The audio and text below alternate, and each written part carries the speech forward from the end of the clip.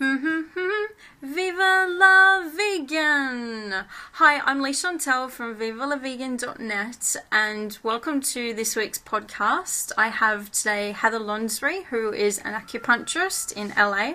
She runs a website called livenaturallivewell.com and she has just released her new book called Fix Your Mood with Food. So she's our guest today. Welcome, Heather.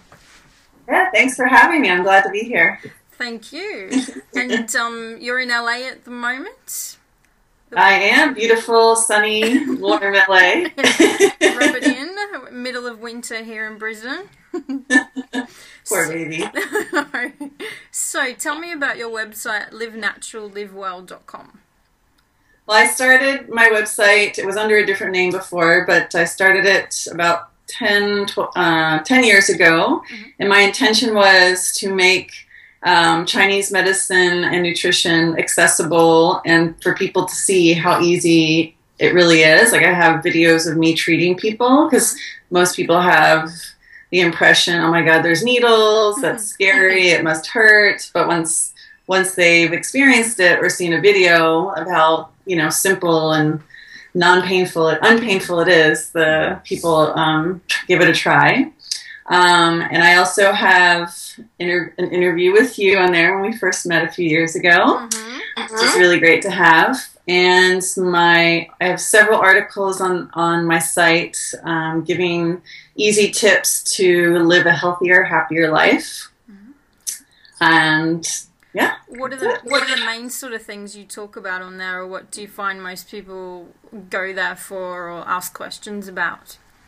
Well, I mostly focus on nutrition on the site just because that's something that people can do on their own without having to come see me. Mm-hmm. So I talk about great sources for calcium without having to eat dairy, which isn't actually even a good source of calcium anyway. Mm-hmm. Um, I give tips on how to get your iron and healthy fats, and also um, tips for lightening your mood, have a healthier and happier joyous life. Um, I talked about autism, infertility, vitamin D, since that's a buzzword the last couple of years. Everyone's talking about vitamin D.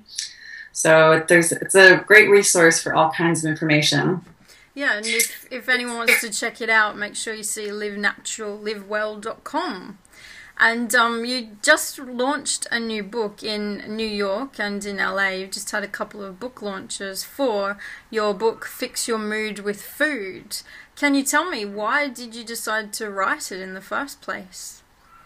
Uh, well, I decided several years ago that I wanted to write a book, but you've you've written books, so you know, like having the idea and actually following through with it are two different things. And long uh, processes. so I didn't really get focused on it until a few years ago. But mm. my intention was that I wanted to get out the information that I've been sharing with my patients to a, a, broader audience because obviously I can only help so many people in a day. Um, and I just wanted to um, show people how easy it is to eat healthy. It's delicious. You can eat to help reduce anxiety, depression, if you're worry warts. And um, most people don't know that. They don't make the mm. connection. They might say, oh, well, you know, I felt kind of crappy the next day, but they kind of relate it to just a food hangover. But how about we say, oh my God, I feel so much better because of what I ate this morning or had for dinner last night. Like, why don't we switch the conversation around to how much how much we're thriving by what we, what we, eat? Mm. Yes, thank you. So and the book is set up in four sections. I start off with giving an introduction to Chinese medicine um, so people can see who haven't tried it before um, that it's not this weird, scary thing that only people like myself in California do. Um, and then I go into great detail. Uh, the second section, there's a chapter on um, different moods. Like the first one in that chapter is anger. So if you have issues with anger or PMS, you're short fuse, there's tips for what to eat, but I also share some of my patient stories throughout the book so yeah, you can. Mm-hmm. Thank you. So you can relate easily. Mm-hmm. Mm-hmm. Um, to like, oh, okay, well, this person had similar issues. That means I can get better too. Because I think a big part of why people stay sick, either physically or emotionally, is they don't think that there's any real hope uh, in getting better. It's just we have to live this way. Um, and then the third section, I go into more detail about how Western nutrition can help your mood. So I talk about sources for your B vitamins, um, the important importance of probiotics, um, iron, and how that lifts your mood. And then the last section goes into great detail of different foods on why they help you from a Chinese perspective and a Western Western perspective. Mm-hmm. Cool. So one example I like to share is black beans. Chinese med- uh, medicine has known for thousands of years, literally, that black beans help with anxiety. Mm-hmm. And we now know Western nutrition that in black beans actually do support brain function and help with sedation if you're anxious. Like it's high in tryptophan. So, and tryptophan has a great calming effect to it. Mm-hmm. Cool. So, um, and then the last part, there's, yes, thank you. And then there's um, charts at the end of the book. So once you get it, you can say, okay, I'm really stressed out about a job interview or my heart's been broken. You can go right to the end and figure out what foods you should be focusing on. Yeah, that's good.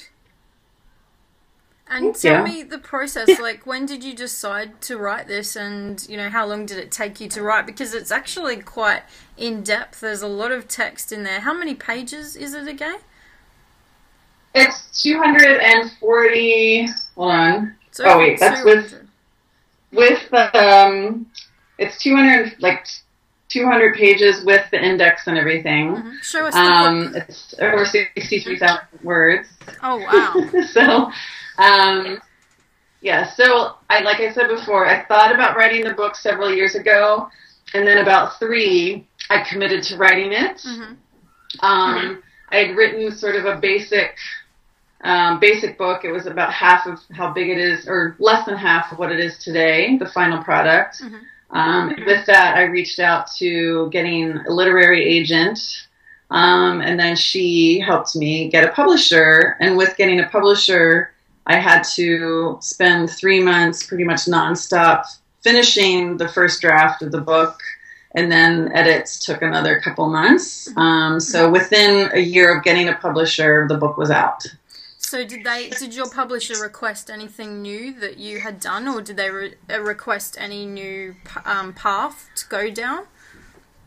Um, well, they wanted me to um, sometimes talk more about a specific topic, um, and they did have me take a few things out because being a first-time author, you know, I I I'm still I'm still learning the process of what what needs to stay in and what needs to come out. Mm-hmm. Um, and there were a few things that they didn't think fit in the book, but then they eventually agreed with me, mm-hmm. like the easy to mm-hmm. follow charts at the end. Uh, they eventually realized like, what what a great resource that would be for my readers. Um, but for the most part, they just they liked what I had to say. That so always helps. yes, it does. And tell me about your launches that you've just had. Okay, well, I've done three parties so far. Um, I started in Los Angeles because that's where I live, and I have for 20 years. Um, I had Spork, the Spork Food Sisters. So for all your followers who know Spork Sisters, mm-hmm. um, they hosted it, uh, which was very generous. And I had a vegan Thai place that's pretty new to LA called Araya. They did some of the catering. And there was about 60 people that came. It was uh, I made it a fundraiser for farm sanctuaries since I'm obviously a huge fan of animal sanctuaries, yeah. and um, I had a blast. I think everyone else did, and you can see pictures from all three of my events on my fan page on Facebook, which is. Um, um, it's facebook.com forward slash Doc Heather, D O C H E A T R, and the number one. So you can look at them there. Um, and then I did, this was super exciting for me. I did an event with Dr. Neal Barnard of Physicians Committee for Responsible Medicine in Washington, D.C. He wrote the quote for the cover of the book, mm-hmm. which I'm honored to have, but he also introduced me at the Washington, D.C. event, and we had it at a Whole Foods there, and Whole Foods did an amazing job with um, providing some healthy vegan snacks, and about 40 people came to that. Mm-hmm. And I sold out of books, which was really exciting. I de- definitely definitely could have sold more if they had ordered more, so that felt really good. Um, and then New York, I was honored to have Candle Cafe West host and cater my party in New York. Mm-hmm. Um, very gracious, gracious hosts, and they we made it um, a fundraiser for the Coalition for Healthy School Lunches. Oh, good. Um, so a uh, portion of the proceeds went to that, and that was a lot of fun too. And they did a special and, menu for you, didn't they? They did. Well, they just did some appetizers and like this watermelon lemonade deliciousness that was really great. Um, where there was just there was we simplified the menu a little bit. Um, there was edamame and guacamole, and then these seitan chimichurro little tapa things that were really good. So, but Bart and Joy were such gracious hosts, and I'm glad they're Lovely. Yes, fun. That sounds really had, cool. I had um, I'd, I've never watched a show, but one of the Real Housewives of New York, a, a big uh, reality TV show star in, in, in America, was there. So that was kind of fun to have the reality show aspect to my party. Always fun. and are you yeah. working on any other launches or book signings or anything like that at the moment that people might be able to go to?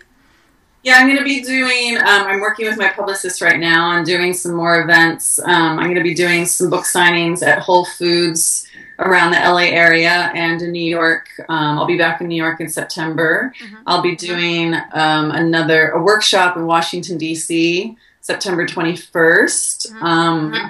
at a vegan yoga studio called Buddha Bee. What's the and workshop on? Uh, it's it's based on my book, so nutrition okay. for mental health, and it's only ten bucks, so oh, right. totally affordable. And I'll also be at Natural Products Expo East. Um, I'm in talks with a few different vendors on where where I'm going to be doing a books um, book giveaway, so I can't give that away just yet. Mm-hmm. Um, and I'm going to be in Austin for sure next April. Um, but we're still finalizing where else I'm going to be. But everything is, if you sign up for my newsletter, um, it's it's on there, and also my Facebook fan page. I'll be posting any future events. Sounds really good. Good luck with the book. Have you got it with you? Can you show everyone what it looks like? Yes. Yay. Is that a good cut? Fix your mood with food. Lovely. it's a pretty cover. Yeah, it looks great. I love the green. And yeah, so, where can people buy the book? Like, yeah, they can get it on your website, livenaturallivewell.com. Anywhere yeah. else?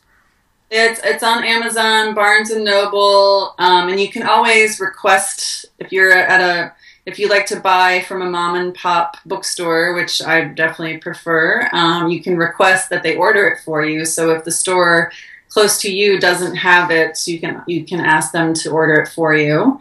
Um, and it's only sixteen ninety five. So and it's also available as an ebook. So if you're doing Kindle or anything similar to Kindle, you can read it that way. Mm-hmm. Mm-hmm. Very good options. and um, we, you actually interviewed me for your podcast a f- quite a few years ago. I can't even remember when it was now. And um, what's your podcast? Um, it's on blogtalkradio.com, mm-hmm. and I'm a featured host on there because I've had, uh, at this point, um, almost 130,000 listeners mm-hmm. over the last four years. So that's pretty pretty impressive. Um, my biggest show to date was 20,000 listens.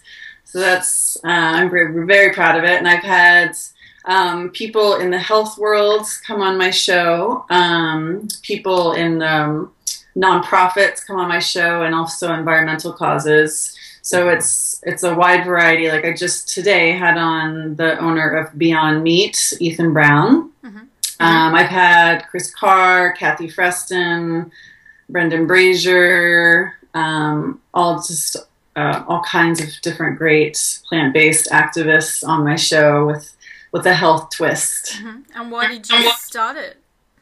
Um, it's sort of the same thing as the book. I wanted to get this, get the information that I had, and also talk to people who had a different take on things. Like obviously, someone like Brendan Brazier, his expertise in, in nutrition for athletes. Mm-hmm. I'm, you know, I'm nowhere near as good good as he, as he is in that regard. So, and also just to share people's experience, like someone like Kris Carr, a mm-hmm. cancer living with cancer and thriving. Like I want, I wanted to share hope mm. um, with people and also give them inspiration to like maybe move forward on their dreams. Like I was talking to Ethan Brown today about, um, you know, if you want to start something, it's never too late. Like if you have a goal or idea in mind, like writing a book or starting a company or changing your diet or starting to exercise, you can be 20, you can be 80 and don't listen to the people that tell you you can't do it. Yeah, that's so. a very, very good tip for life in general, isn't it? yes, exactly. Well, and I hear a lot with my patients and sometimes my friends too, like, oh, you know, well, my family won't support me, or I'd have to go back to school, or any of these, you know, excuses, um, which are fine. But I, I think to me, like, I, I'm so grateful that I went to school for Chinese medicine because I definitely you know, my parents would have preferred if I going into medicine that I became a Western medical doctor instead of Eastern, but obviously now they're very proud of me and excited that I'm doing what I do. The the vegan thing is still very weird to them, but that's mm-hmm. okay. How long have you been vegan for?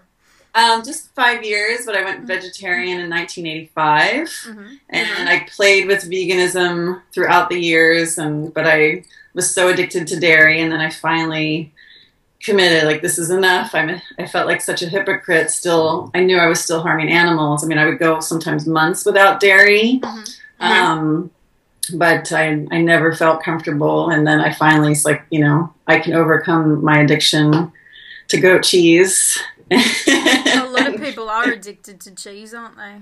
Yes. Is that uh, related to anything in chinese medicine?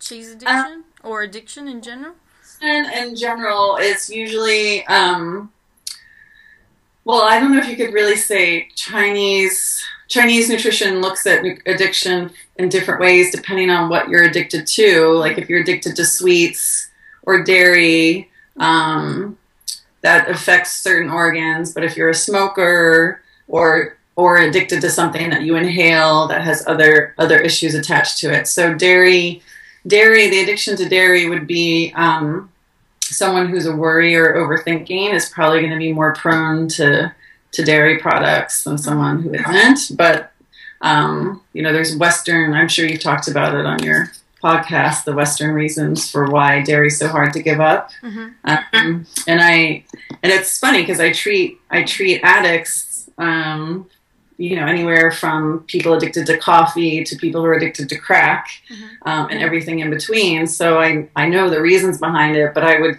be like oh just one little bite that looks so good and then and then i'd fall right back into yeah. my, my addiction so but five years five years ago i was like i had i've had enough and don't miss it at all and i'm so grateful that i finally made the commitment and we'll never look back and you just feel so much better, don't you? Like I know I'm addicted to sugar. That's one of my things. And I, I can go, you know, a few months or something without sugar, but as soon as I have just a little bit, then I'll be like, oh, I have to have some more sugar the next day or it's a very hard one to break that one. Yeah, yes. And it's sugar is known to be as addictive as heroin. There's st- studies now proving proving that. And of course I'm against animal testing, but they've even had um, sugar and cocaine and, and mice, yeah. and the mice yeah. will go after sugar before they go after cocaine. So that's wow. that's how addictive it is. Yeah, yeah I'm not surprised. So, um, going back to your podcast that you do, um, what sort of topics do you speak about with people? Just whatever their interests are, or whatever, wherever they come from. Yeah, whatever they wherever they come from. Again, someone like Kris Carr and her her over her living with cancer and being a spokesperson for living a healthy life without doing chemo and radiation or surgery and and spreading that message um, or someone like um, I had Heather Mills on, and we mostly talked about her journey into going vegan. Mm-hmm. Um, that's Paul McCartney's ex, for those of you who don't know the name right away. Um, her reasons for going vegan and what inspired her to start her her food line and restaurants. So um, everyone is different, but I've also had some environmental groups on. Um, and goodness, I'm trying to blank off the top of my off the top of my head. That's so awful because it's been a while since I've had anyone from the environmental movement on my show. But um, talking about the oil's effect on the Amazon and what we can do locally to have an impact on the environment. Obviously, going vegan is the most important one for for uh, helping the environment. Mm-hmm. Um, so, but I've also had organizations talking about helping um, people, uh, children in orphanages in Asia, and just the whole gamut. But it's my main message is improving your life and spreading that spreading that out to the world. So even if you feel like oh, it's just little little me, you know, I live in a tiny town in the middle of nowhere, I can't have an impact, but every everyone can. Yeah, that's yeah. And what's your favorite topic to talk about on the podcast? Um, well, I definitely love talking about food, mm. like most vegans. so, um, and how transformation stories. Um, mm. So, someone, you know, just like my own story of, because I'll share this a little bit on my show sometimes, depending on the guest, but how I went from sort of, oh, I'll try being vegetarian for the summer mm-hmm. to it becoming sort of my life's work and and how how that happens. So the transformation story. And I was, a, you know, a junk food junkie mm-hmm. um, and eating McDonald's on a regular basis. And the thought of eating anything like that would just is totally gross to me now. Mm-hmm. So stories of transfer transformation and how you know you know people came from certain attitudes or ways of living and how how they're better happier more giving people so and um, what about how you actually create your podcast? Like, what what do you use? What sort of programs do you use? What sort of tools? It's actually really simple. Um, with Blog Talk Radio, um, they have. I just have to log onto my computer and access the internet, um, and the studio is right there on their website. Mm-hmm. So I don't have to call. I don't have to have anyone call in. I mean, they have to call in, but they don't have to travel, especially in LA. There's there's issues with traffic. Horrible um, so, traffic in LA. so, um, so I don't know what program Blog Talk Radio uses, but all I do is log in. I have a call-in number and a password. It's kind of like doing a conference call, but mm-hmm. the whole world can listen. Yeah. And do you have a specific microphone that you use? No, it's all just whatever my Mac automatically comes with. Mm-hmm. So your internal microphone, yes. that sounds really easy. And then um, they up they would obviously just do everything for you. You wouldn't have to do the uploading or anything, would you?